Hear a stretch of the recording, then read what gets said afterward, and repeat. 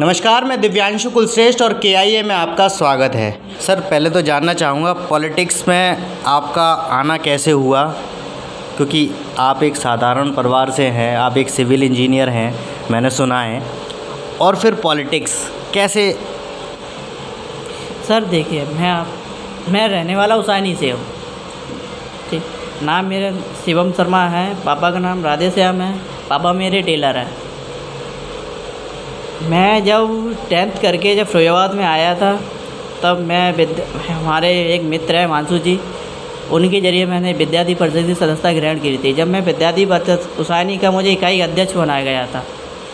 उसके बाद विद्यार्थी परिषद में थोड़ा कुछ समय के बाद, फिर उसके बाद हम लोग विद्यार्थी मंच राष्ट्रीय विद्यार्थी मंच में आ गए थे।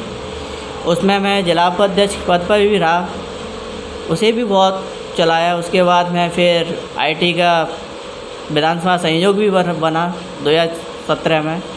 उसके बाद फिर आके मैं अपने, फिर पार्टी ने देखते हुए फिर अभी जो चुनाव, उससे पहले मुझे मंडल खुद की ज़िम्मेदारी भी दी गई थी 2020 में। उसके बाद मेरे जो बैंदी वाले अध्यक्ष जी हैं उनके बाद फिर मैं अपने इधर पार्टी ने काम देगा सोशल मीडिया में हर चीज़ में हम लोग एक्टिव रहते हैं।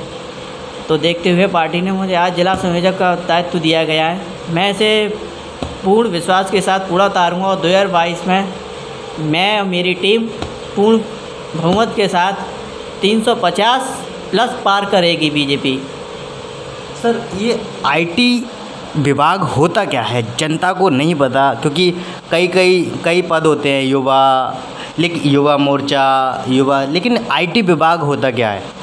आईटी विभाग एक इलेक्ट्रॉनिक सोशल मीडिया है।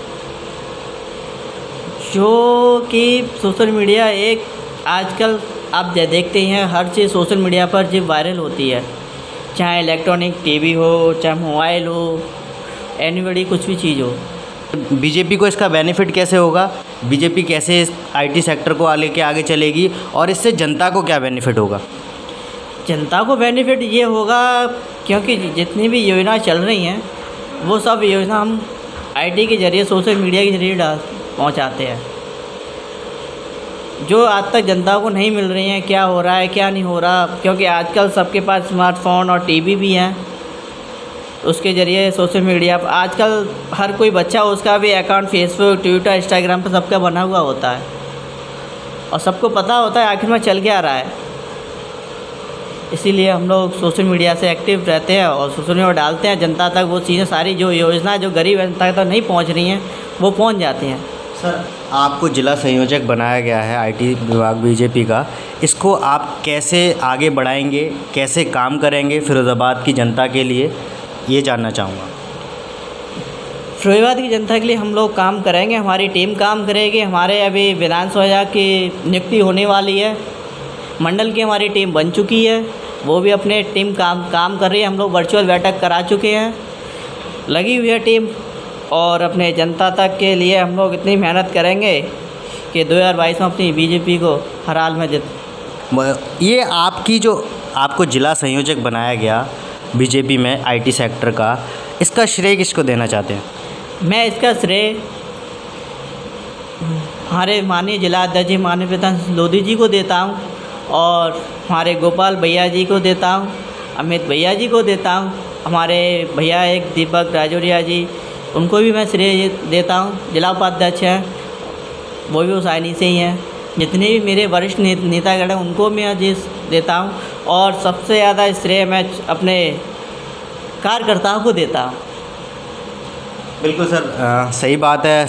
जब पार्टी मिलके काम करेगी तभी आगे नाम होगा आप लोगों का भी और पार्टी का भी और जनता तक तभी पहुँच पाएँगे।